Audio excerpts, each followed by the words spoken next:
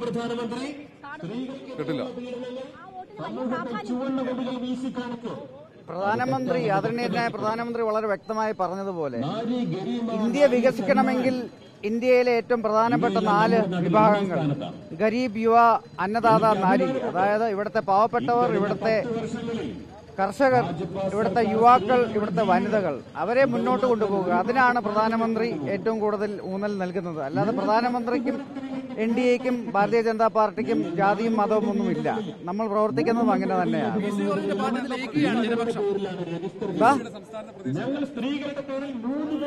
നമ്മുടെ ചരിത്രത്തിലെ ഏറ്റവും മികച്ച പ്രകടനം ഇപ്രാവശ്യം നമ്മൾ നടത്തും.